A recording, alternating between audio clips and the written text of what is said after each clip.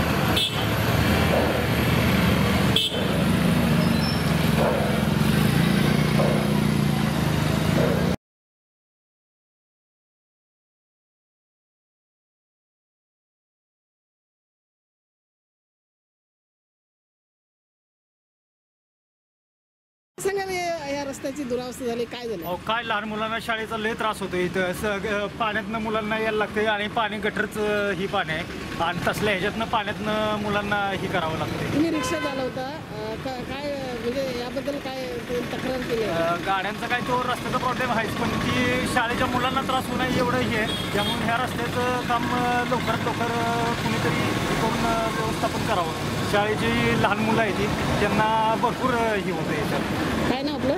माझं प्रवीण ठोंबरे. माझं नाव गीता अविनाश कारभारी. अं, मला सांगा काय नेमकी परिस्थिती आहे? पाणी कधीपासून अं, साचलंय? मुलं कशी प्रवास करतात? साधारणपणे तीन महिन्यापेक्षा जास्त कालावधी लोटला आणि हे पाणी सतत वाहत आहे आणि ते सगळं दुर्गंधीयुक्त पाणी आहे. कारखान्यातलं रसायन मिश्रित आहे आणि त्याच्यामध्ये कोणते कोणते केमिकल्स मिसळलेले आहेत काहीच कल्पना नाही पण आम्हाला गेले कित्येक दिवस हा ह्या पाण्याचा त्रास सहन करावा लागतोय.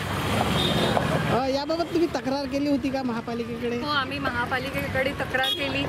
पण ते म्हणतात की हे कारखानदाराचं काम आहे. कारखानदार म्हणतो हे महापालिकेचं काम आहे. आणि अशा प्रकारे प्रत्येकजण आपापली जबाबदारी एकमेकांवर ढकलत आहेत. काय सांगाल या पूर्ण मुलांच्या आरोग्यावर याचा परिणाम होऊ शकतो हो? निश्चितच. कारण हे इतकं दुर्गंधीयुक्त पाणी आहे त्यातून काही मुलं पायी प्रवास करत येतात. त्यांच्या त्वचेला इन्फेक्शन होऊ शकतं त्वचेचे आजार होऊ शकतात. बरेचसे काही धोके आहेत जसे बाईकवरून येणारे असतील सायकलवरून येणारी मुलं आहेत. खड्डे दिसत नाहीत त्यामुळे कधी कधी ते पडतात सुद्धा ह्या पाण्यामध्ये. आणि धोका निर्माण होतो त्यांना आरोग्याला.